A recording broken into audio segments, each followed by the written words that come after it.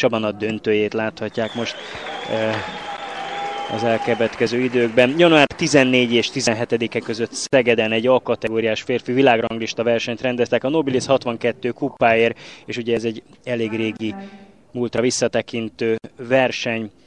Sok induló volt, 117 induló 7 ország részvételével. A képen egyébként Tomka Milán piros mezben és Zavarko Vilvos fehér mezben. Mind a ketten a Podbrezova játékosai. Ők kerültek be a döntőbe. Mellettem Karsai Ferenc a versenybíróságnak, a, vagy a főszervezőknek a vezetője, Szervusz Feri. Jól sikerült a verseny, mielőtt itt belásnánk magunkat a döntőbe? Szervusz, üdvözlök mindenkit. Igen, nagyon jól sikerült, rekordszámú nevezés érkezett erre a versenyre, ezért egy nappal meg is kellett hosszabbítsuk a selejtezőknek az időtartamát. 117 induló volt 7 országban, mint hogy már ezt említetted. Magyarország, Szlovákia, Csehország, Ausztria, Szerbia, Makedónia és Románia legjobb tekézői neveztek erre a versenyre és a lebonyolítás egy picit változott a tavalyi évhez képest. A 117 induló ugye elkezdte a selejtezőket, 120 gurítás után kialakult egy sorrend, és 16 után húztak egy vonalat a szervezők, és a legjobb 16 került egy táblára, egy 16-os táblára, ami annyit tesz, hogy egyes a 16-ossal, kettes a 15-össel, és így sorba páros mérkőzéseket játszottak. Kétszer 30 gurítás döntött arról, hogy melyikük jusson tovább. Nyilván előfordult, hogy egy-egy volt a kétszer 30 gurítás után, ilyenkor három teli gurítás volt, amely mondjuk úgy, hogy hirtelen halál a tekébe, de gondolom ezt nagyon nem szeretik már a tekések, hogy a 60 gurítás nem döntött, miért ez a három döntsön. Hát igen, de a sport ilyen, és ez egy új lebonyolítási forma, Nemzetközi Szövetség által elfogadott, preferált forma, éppen a közvetíthetőség és a, a gyorsabb lebonyolíthatóság miatt. Mint ahogy említetted, a 16 játékos közül sok ilyen párharcot egyébként, amelyik egy-egyel végződött.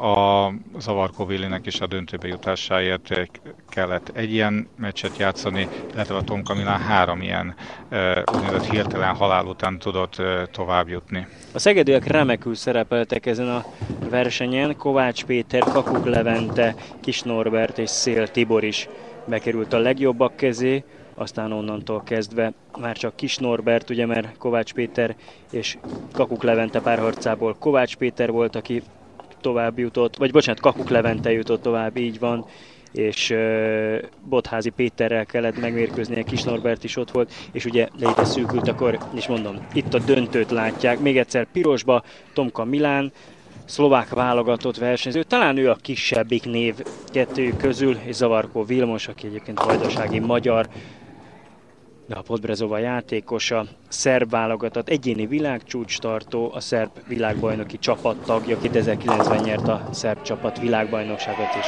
ott volt Zavarkó Vilmos ebben a csapatban. A döntő csak úgy, mint a korábbiak, kétszer 30 gurítás, hogyha egy 30 gurítás után, akkor háromteli gurítás dönt. Na nézzük a versenyt. Most éppen Zavarkó Vilmos készülik gurításhoz. Nagyon-nagyon szoros ez a mérkőzés. Ugye az eredményjelző tábláról követhető, hogy Tomka Milán egy hajszállal vezet, 9 gurításból 60 két fa, ugye eldölt neki a 9. bábú is, 62 fája van, még a Zavarko Vili éppen most gurít, és látszik, hogy 10 dobásból 71-nél tart. A Vilmosról annyit el kell mondani, hogy a Szegedi pályán pály neki nem ismeretlen, tavaly ezt a versenyt ő nyerte, óriási csatában, és ennek a versenynek, ennek a pályának pontosabban ő a pálycsúcs tartója 723 fás szenzációs eredménnyel.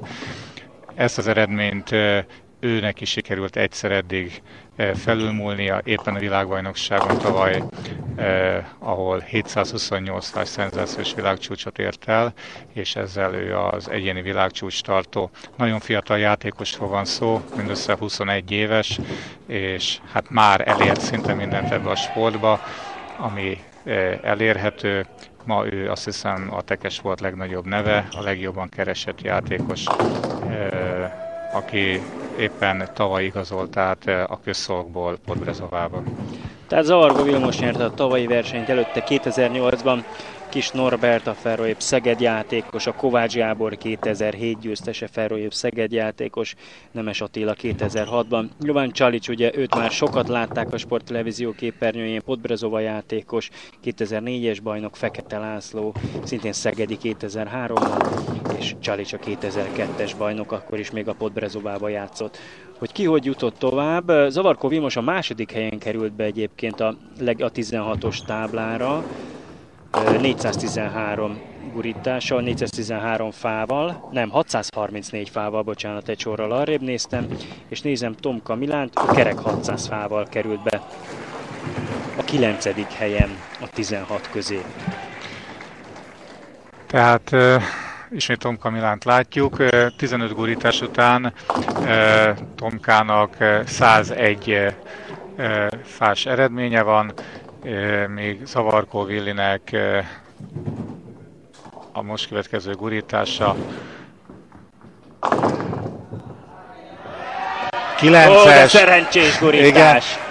Hát ez egy óriási szerencsé volt. 16-ból 118 fánál tart, tehát jelenleg meggyőző előnyel vezet, de hát itt még azért semmi sincs lefutva, hiszen egy-egy kihagyás, vagy egy-egy szerencsés gurítás az bármelyik irányba billenheti a mérleg nyelvét, és hát éppen, ahogy mondtam, most a Vili most hibázott, ez egy elég nagy hiba, jó esetben is két-három gurítás kell ennek az állásnak a levételéhez, még a Tom Kamilán ugye egy fája van, amit le is ütött. Hát a Vilinek érdemes a stílusát azért ö, ö, vizsgálni, nézni, tanulmányozni. Egy elég egyedi stílusban játszik a srác, nagyon dinamikusan, úgynevezett jobb középről az első fa irányába gurítja golyót, egy majdnem nem a bowlingosoknál megszokott stílus ez, ami egy nagyon jó pörgést ad a, a golyóinak, emiatt nagyon eredményes a játéka és hát persze ezt még hozzá kell tenni, hogy nagyon-nagyon pontosan játszik. Általában a Willinek a gurítás egy 90%-os pontosságúak, ami, ami azért ebben a sportban nagyon-nagyon jó eredménynek számít. Hát jelenleg éppen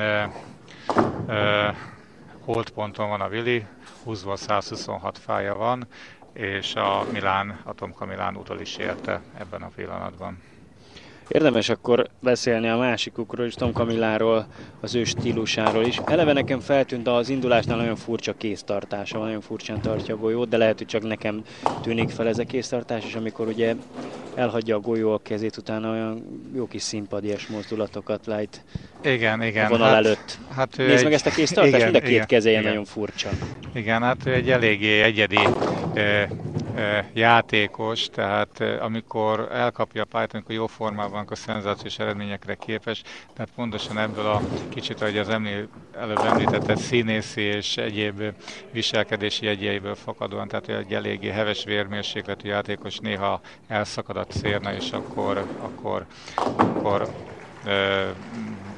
tud betlizni, de most nagyon jól játszik, nagyon összeszedte magát, és azért ne felejtsük el, hogy már négy párharcon túl van mind a két játékos, tehát azért komoly gurítás szám van a lábukba, és mindössze 10-15 perc szünetük volt, hogy erre a döntőre fel tudjanak készülni. Ha már párharcokról beszéltél, akkor azt hiszem, hogy tartozunk annyival a történelemnek, hogy elmondjuk Tom Kamilán a legjobb 16 között Pete Lászlóval mérkőzött, és egy-egy után ugye Tomka Milán volt a jobb. Ugyanígy a 16 között Zavarkó Vilmos sima 2-0-val győzte le Veres Gyulát. Aztán tovább megyünk ugye már a legjobb 8 között, Zavarkó Vilmos 1-1, ez Danko Pavicsal szemben, aztán a szétlövésben ugye Zavarkó Vilmos volt a jobb, Tomka Milán szintén 1-1-et mérkőzött Kis Norbertel, szintén a szétdobás döntött 18-16, ez is nagyon szoros volt Tomka Milán javára.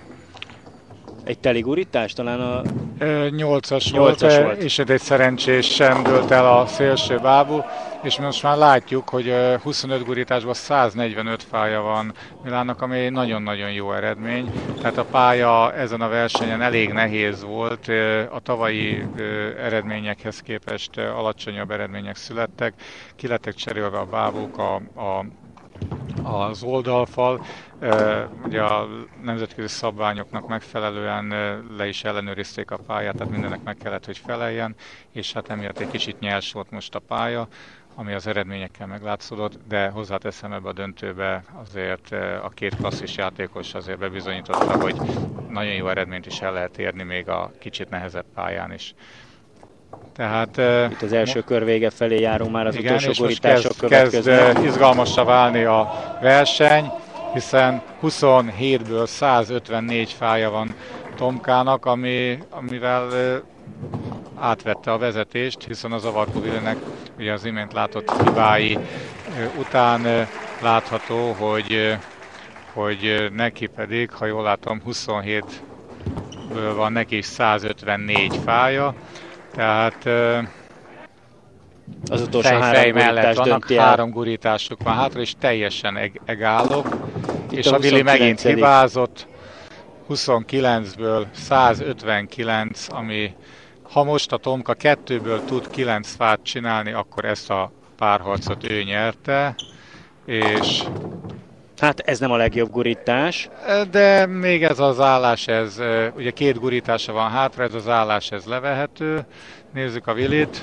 Nagyon nehéz zicsel, oh, és egy gurítás. 163 fa, ami annyit jelent, hogyha a Tomka egy gurításból leüti a négy fát, akkor biztosan nyeri a párharcot, ha kettőből leüti a négy fát, akkor pedig döntetlen, ez a 30. Két gurítása van arra, hogy négy fát teljesítsen, ezt meg is fogja kettő sikerült csinálni, ezt és, a És hát sajnos ez azt jelentette, hogy, hogy egy fával alul maradt a Tom Kamilán ebben a párharcban. Tehát az első kört, az első 36 Zavarkó Vilmos nyert.